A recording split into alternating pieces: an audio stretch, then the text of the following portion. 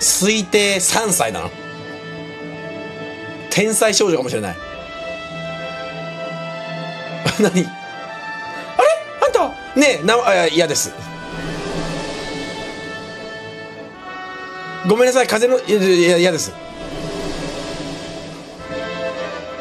ごめんなさい風いや嫌です。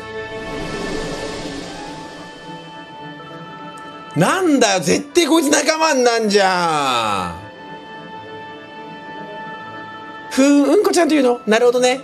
あんたとはもう少しお話したいけど、今はいなくなった妹の方が心配。こんだけさ、重要視されてるいるということは、仲間になる匂いがプンプンするね。